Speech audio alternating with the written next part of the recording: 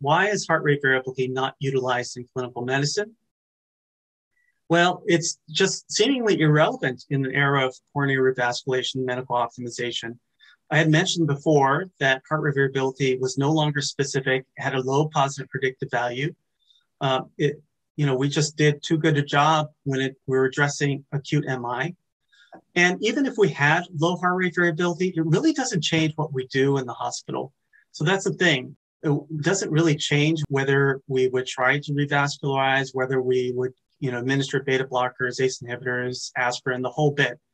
So even if it's low, it doesn't change management. And so that's why heart rate variability is just not utilized, particularly in the hospital setting.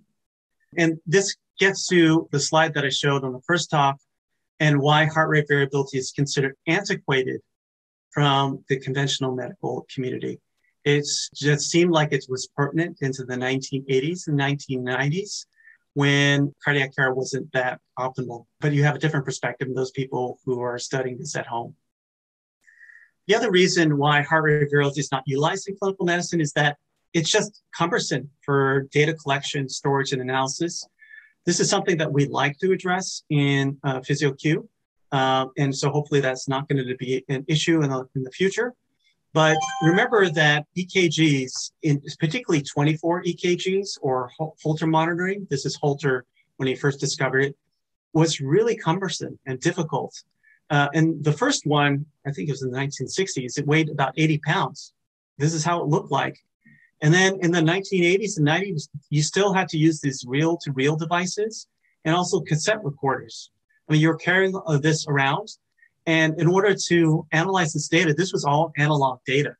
This was not digital. So it's something that you had to take a look, visualize. They had to have special programs to figure out when was the beat to beat interval.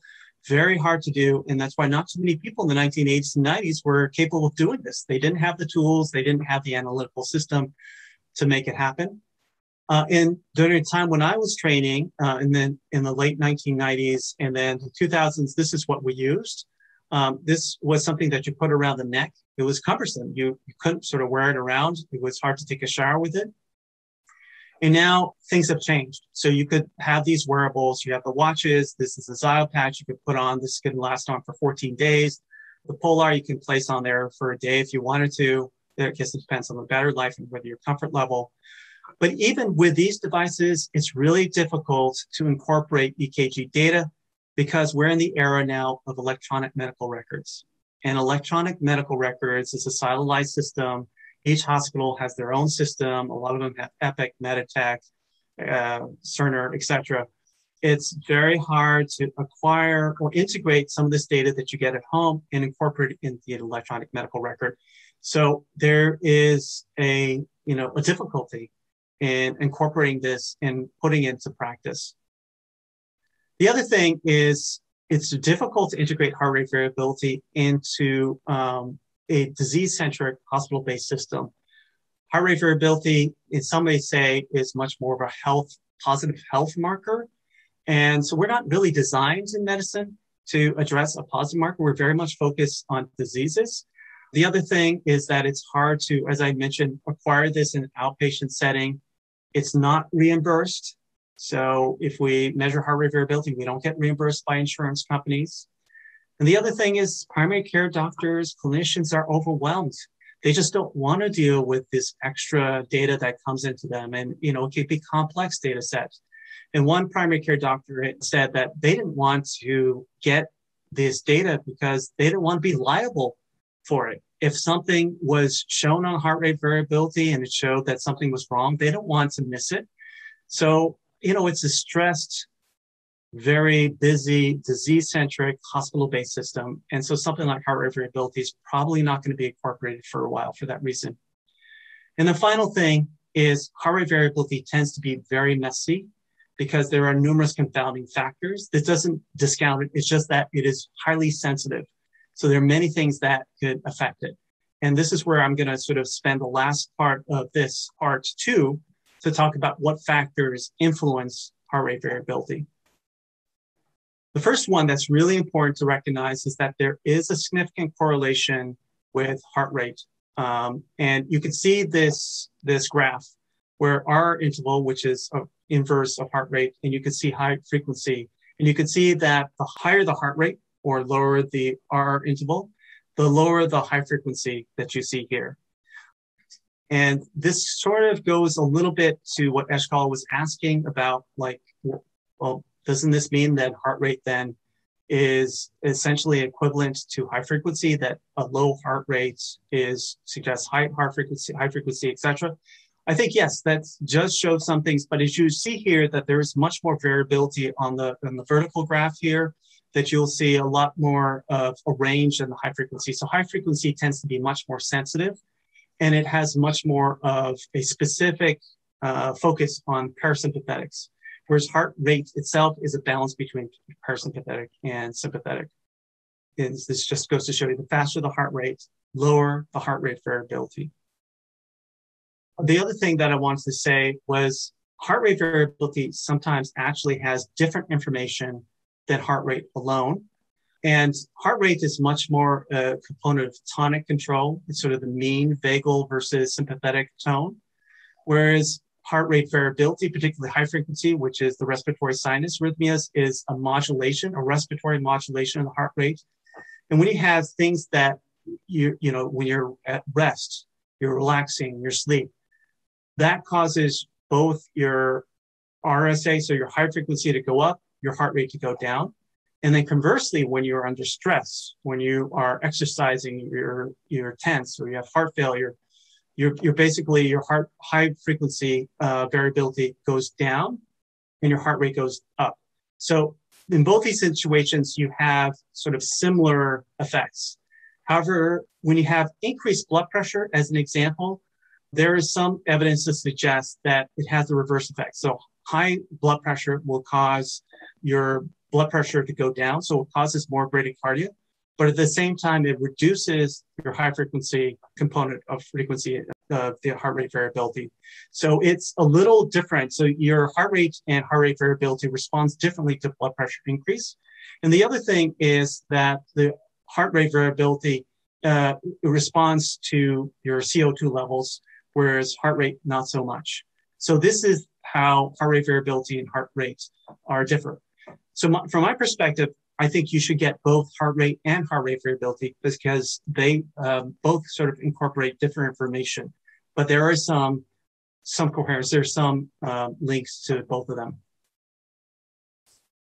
The other factor is posture. This is an example of someone who's laying down at rest, and then when you tilt them up, you can see the changes in the R interval. So when they're laying down, the R interval is elevated. In other words, the heart rate is lower.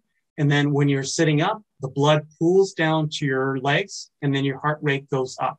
So it's, it's about 106. And when you do the frequency analysis of this, you can see that actually the high frequency components are going down. The low frequency theoretically should go up uh, because if, if you recall, the low frequency is a, a pseudo marker of the sympathetic nervous system. And when you're sitting up, your blood vessels need to contract. In order for that to happen, the sympathetic nervous system needs to kick in. So naturally, the low frequency needs to be high when the sympathetic nervous system is in there. But when you calculate the actual area under the curve, you will see that there isn't much of a difference uh, because the low frequency is actually lower at 413 compared to here. Um, even though it looks larger, the overall area is actually smaller and then this region. And the reason is when you're sitting up, your heart rate goes up, your heart rate variability goes down. And so proportionally, the large low frequency plays a larger role, but overall the total power decreases. So this is why posture is an important thing to consider when you are um, doing heart rate variability. And this is why when you're doing frequency domain analysis, you will normalize the data. You, you know, you can see, for instance, at rest when you're laying down, the total power of the, the frequency is elevated, but when you're sitting up, the total power is decreased. But you can see that the overall contribution, the low frequency is larger when you're in an upright position.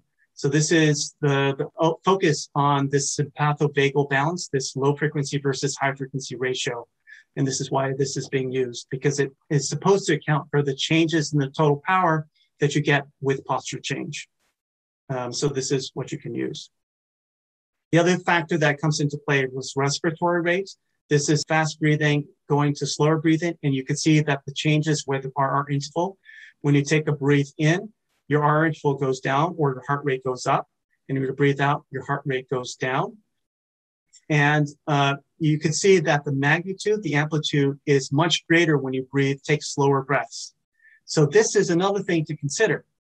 When you're taking slower breaths, your heart rate variability is going to increase, particularly I'm focusing on the respiratory sinus arrhythmia.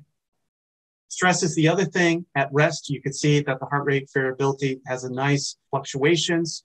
When you're doing mental arithmetic stress, you have a heart rate increase, but significant reduction in the fluctuations. And then same for exercise. And then for those people with severe CHF or congestive heart failure, basically have no variability in this example here. And then the next few slides, we'll talk about actually this great study that was just published in Lancet Digital Health in 2020. It was published by Fitbit Research Group. And this is what happens when you have access to millions of people who have data. I'm not sure if all of them agreed to have this data analyzed, but basically 8.2 million Fitbit users uh, had their data analyzed on September 1st, 2018. The data was collected for 74 countries. United States was well represented in this data set. And they were able to sort of assess the uh, effects of heart rate variability, certain influences, certain factors that influence heart, heart rate variability. In this case, this was age. You could see from age 20 to 60, and you could see the different measures that they used here. RMSSD and high frequency, they kind of shared similar results because again, this is high frequency results. This is low frequency SDRR. SDRR in this situation, they took five minutes portions in five minutes. Again, if I, you can see my prior slides deals with low frequency. So you are seeing the low frequency range here. And so what do I get from this results? You can see that with age, your heart rate variability unfortunately goes down and that the heart rate variability tends to go down faster with the high frequency compared to the low frequency. I mean, it doesn't seem like it here, but you'll have to take a look at the, the scales here. And it, this sort of magnifies the, the changes. But basically, when you do the calculations, your high frequency decreases dramatically with age. And the authors had suggested this tells you is that your parasympathetic declines more rapidly as you age compared to the sympathetic nervous system. The other difference that's noted here is that the men, this is men in blue, female in red, and then the solid lines are 6 a.m., dotted dash lines are at 6 p.m. And you can see that men tend to have larger low frequency power both during the day, morning and evening, uh, whereas not much of a difference in the high frequency. So you see the effects of age and you see the effects of gender. And the other final thing that I just wanted to point out that there's huge inter-individual variability you could be what's considered normal in the 20 years of age within this like standard one standard deviation could be here and you could still be considered normal with the same value at the age of 60 so there's a lot of inter individual variability here there's a circadian rhythm here as well. Um, these are for high frequencies and low frequencies, and you can see that there's a peak at 5 to 8 a.m. and nadir around 7 to 8 p.m. for all the high frequency uh, all the frequency measures that you get here. Um, interesting, the low frequency, for whatever reason, you see an earlier phase shift uh, to the left for the elder, older people. I don't know why that is, but clearly there is a circadian shift here. And then physical activity also plays a significant role in affecting your heart rate variability. This study took basically the average number of steps you take per day over the past 90 days, and then they evaluate the effect of that on your heart rate variability. And you can see for all the measures that they obtained here, that the more steps you took, the greater your heart rate variability goes. So it's good exercise if you're focusing on increasing heart rate variability. And this is a comparison between the younger folks versus the older folks. And the, the numbers that I want you to focus on are here on the right-hand side, which is shown by sigma. This tells you the number of steps you need to take in order to increase one millisecond squared on average of your heart rate variability. So if you're young, it will take, you know, only 30 steps maybe in order for you to increase your heart rate variability one milliseconds.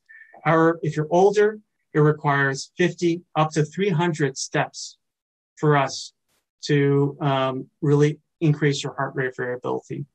And there's a difference also for us older folks is that it's much harder to increase your high frequency power. So uh, it's harder for us to increase our parasympathetics. You would need to do up to 300 steps, particularly men versus women, in order to increase our high frequency.